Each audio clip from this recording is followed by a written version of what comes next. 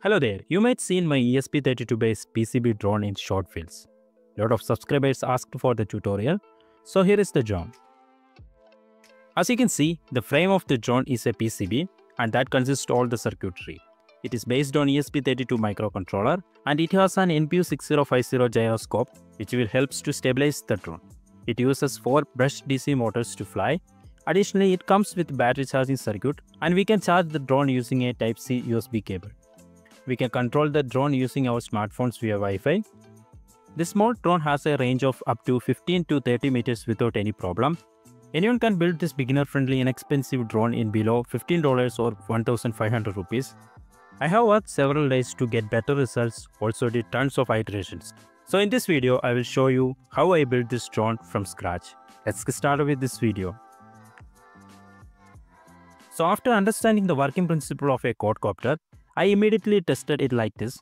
I have made a simple frame using PCB and connected 4 motors. Surprisingly, I am able to lift the drone. But without a microcontroller and gyroscope, it is not possible to fly. So I added a ESP32 and a MPU6050 module. The MPU6050 can help to stabilize the drone. But after adding that, you can see it is not able to lift from ground because of the weight increase due to the extra modules.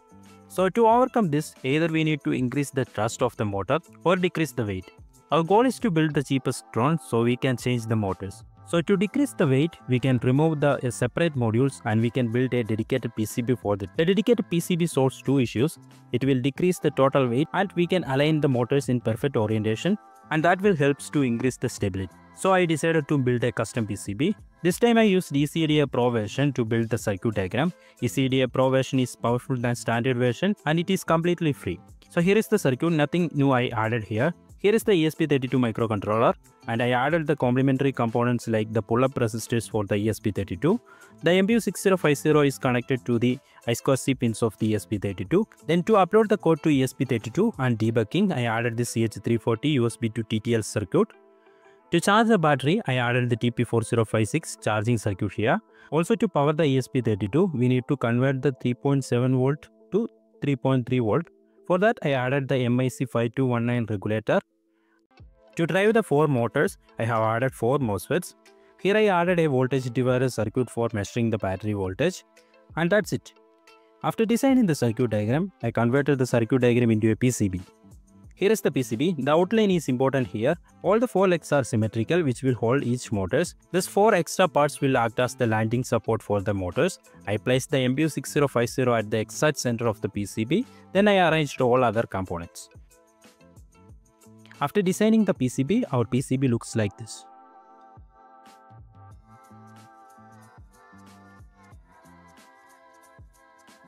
Now I downloaded the Gerber file for PCB fabrication.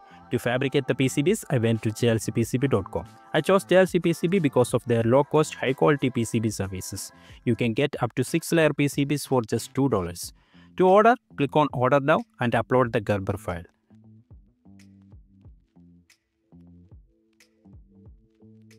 After uploading, we can set the PCB parameters. Here I selected the standard 1.6 mm thickness and white color. Also I added the stencil for the drone because our drone has a lot of SMD components. Then selected the address and shipping method and finally placed the order. After 10 days, I received the PCBs from JLC PCB.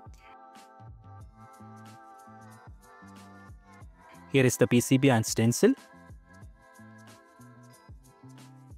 The PCB quality is awesome as always.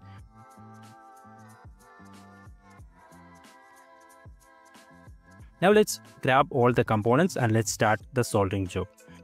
You can purchase all these parts as a kit from my site if you want, check the description for that.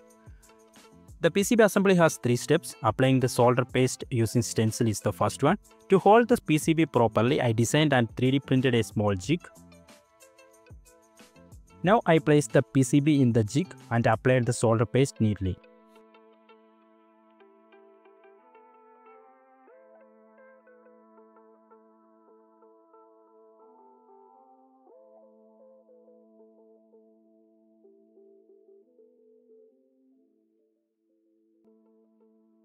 Next is the assembly of the small SMD components.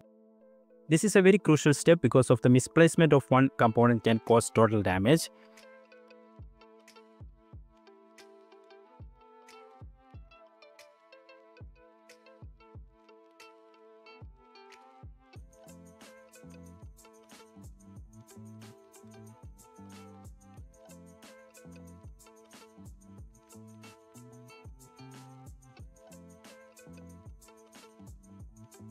After placing all the components, I place the populated PCB on hot plate.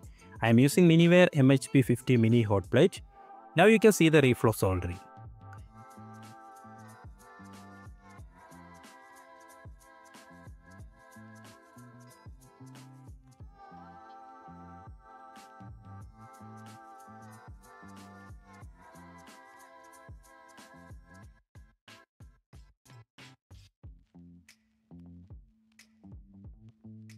After the reflow, our PCB looks like this. Now I separated the legs from the PCB.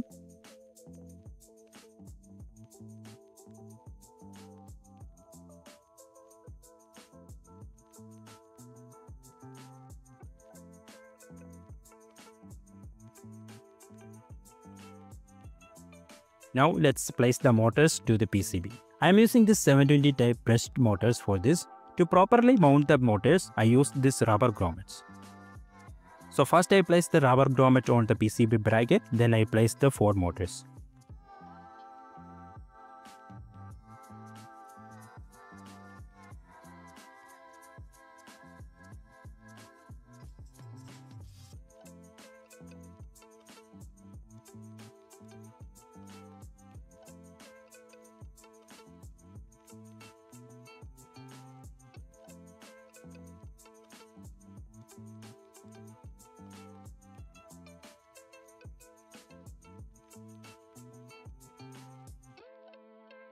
Then I added the separated legs to the PCB like this.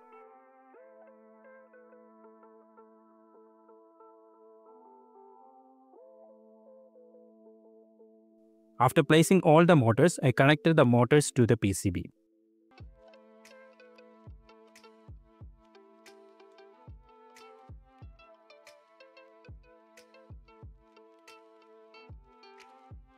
The final step is to adding the propellers. I have tested different shape, different size propellers and I got good result with this 55mm propellers. So I added the propellers to the motor like this. You have to care about the propeller direction. Please follow the article.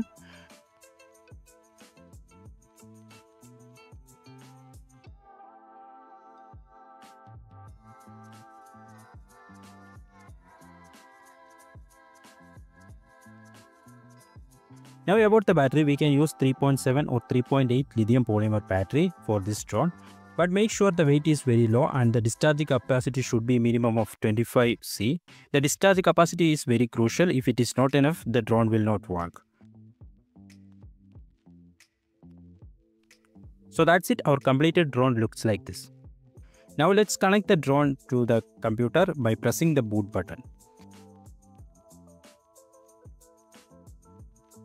To upload the code to ESP32, I am using ESP Launchpad here. First go to the ESP Launchpad and click on Connect. Then select the COM port.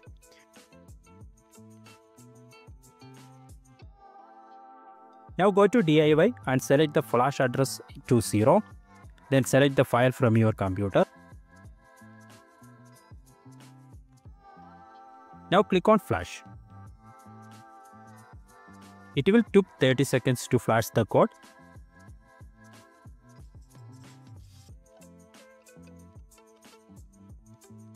Then reset the drone. Then you can see the success message on the console. That's it. While charging the battery, the red LED light up. Blue will turn on when the battery is full. Now place the drone on a flat surface and turn on the drone. The drone will automatically calibrate. In the drone, there is three LEDs the middle one will turn on if the battery is low or if any other sensor errors. The first one blinks while connecting to the application and the third one will blinks after connected to the Wi-Fi. You can download the application from the site. Now open the Wi-Fi menu and connect to the drone Wi-Fi. The default password is 12345678. Disconnect the phone from the internet and turn on location. Now open the app and click on the top right icon. Now you can see the connected message on your application. Now see the drone is responding with the controller.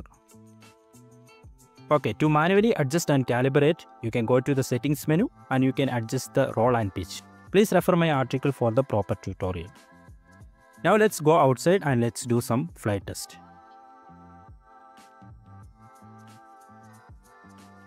As you can see, it flies well. You need to adjust settings according to the drone to fly well, but you can master once you got the idea. You can buy all the parts and PCBs from my site. Circuit and code is also free to use.